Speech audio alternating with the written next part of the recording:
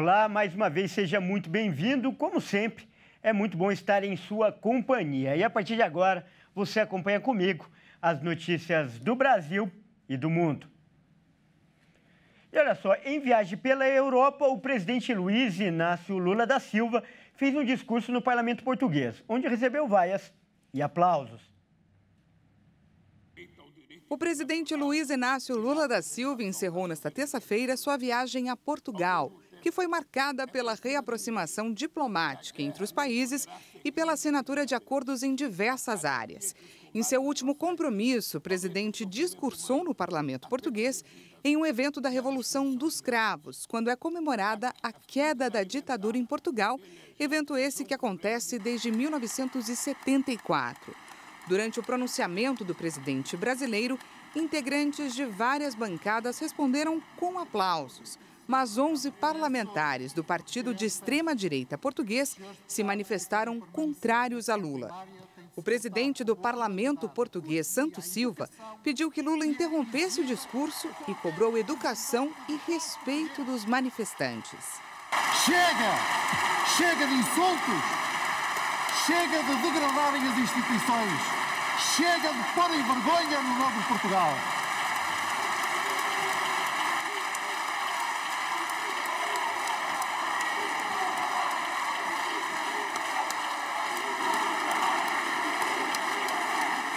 Em seu discurso, Lula lembrou da importância da data que marca a luta do povo português pela liberdade. O presidente brasileiro voltou a condenar a violação da integridade territorial da Ucrânia. Ele também disse que é preciso ter diálogo para que conflitos nacionais e internacionais sejam resolvidos. Condenamos a violação da integridade territorial da Ucrânia. Acreditamos em uma ordem internacional fundada no respeito ao direito internacional e na preservação das soberanias nacionais.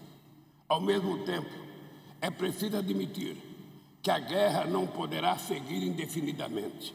A cada dia que os combates prosseguem, aumenta o sofrimento humano, a perda de vidas e a destruição de lares. E ao encerrar a sua participação, Lula se mostrou feliz com a parceria do país. Nessa nova jornada, tenho a satisfação de poder contar com o apoio dos irmãos portugueses, com quem continuaremos a caminhar orgulhosamente juntos em prol da construção de um mundo mais justo, mais livre e mais próspero.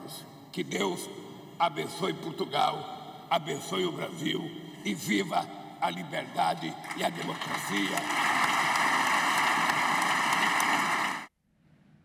Olha, e após o evento, Santos Silva pediu formalmente desculpas a Lula em nome do parlamento português e classificou o ato de uma cena de ridículo. E eu mudo de assunto agora para falar que o presidente do Banco Central, Campos Neto, defendeu a atual taxa Selic de 13,75% ao ano. Ele foi ao Senado participar de uma audiência da Comissão de Assuntos Econômicos para justificar as decisões da instituição financeira. Roberto Campos Neto reafirmou que o Banco Central age de forma técnica na fixação da taxa básica de juros para combater a inflação. Durante a audiência pública na Comissão de Assuntos Econômicos no Senado Federal, ele afirmou que a taxa básica de juros, atualmente em 13,75% ao ano, o maior nível em seis anos, avançou mesmo durante o período eleitoral. Segundo Campos Neto, se o Banco Central tivesse parado de subir os juros no ano passado, a inflação teria sido de 10% em 2022. Para definir o nível dos juros, o Banco Central se baseia no sistema de metas de inflação. Quando a inflação está alta, o BC eleva a Selic. Quando as estimativas para a inflação estão em linha com as metas, o Banco Central pode reduzir o juro básico da economia. Campos Neto disse que as ações têm mostrado bons resultados. E que está caindo, está caindo a inflação, né? então a gente entende que ter atuado antes funcionou e a gente tem, a gente precisa esperar para ver os próximos números e os próximos acontecimentos para ver qual é o curso de ação sempre muito técnico do Banco Central. Campos Neto falou que o movimento de juros antecipado já mostrou ser capaz de controlar a inflação. Ele citou como exemplo os anos de 2014, 15 e 16, quando o mercado internacional teve inflação alta.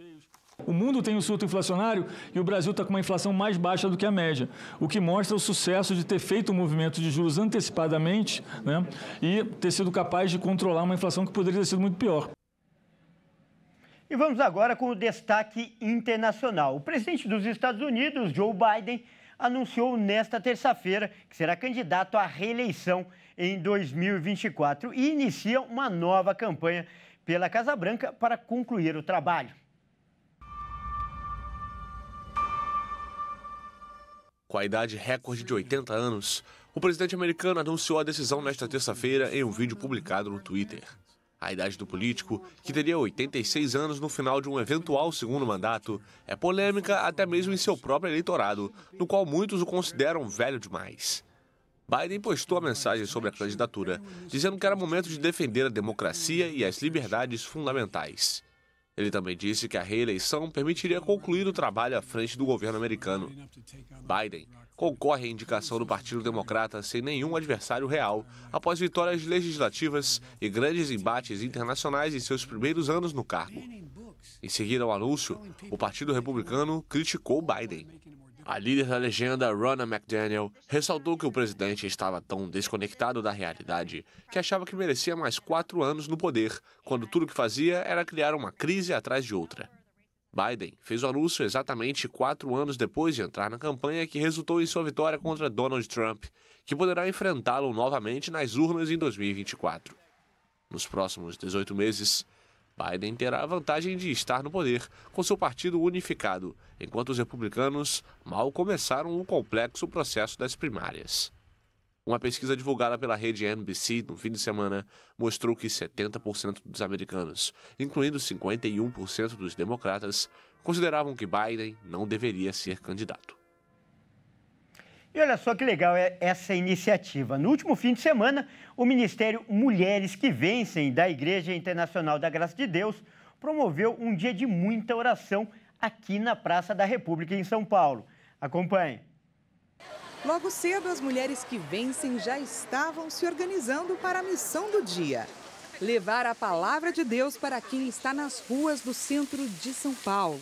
O evento de orientação social, que aconteceu nesse 22 de abril, contou com a distribuição de mais de 300 lanches, sucos e roupas.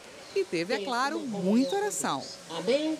Glória a Deus. Essa ação social tem como objetivo a levar a palavra do Senhor para essas pessoas que estão em situação vulnerável.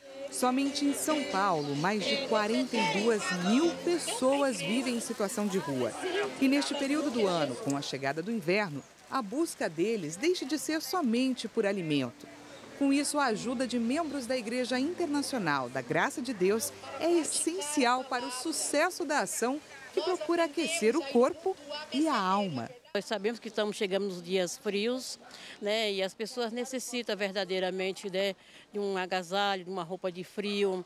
Nós sabemos como que cruel é essas pessoas que vivem, né, em, como moradores de rua, né? E essas pessoas precisam da nossa ajuda. O Ministério MQV busca despertar na mulher a vontade de viver o que Deus preparou, de desenvolver a autoestima, curar feridas emocionais, resgatar princípios da família e valorizar a fé em Deus. As ações da igreja junto com o Ministério Mulheres que Vencem acontecem mensalmente em todo o Brasil e são só uma parte do trabalho realizado com tanto amor e dedicação. Bom, essa edição fica por aqui. Eu agradeço pela sua companhia e convido a continuar ligado em nossa programação. Até mais!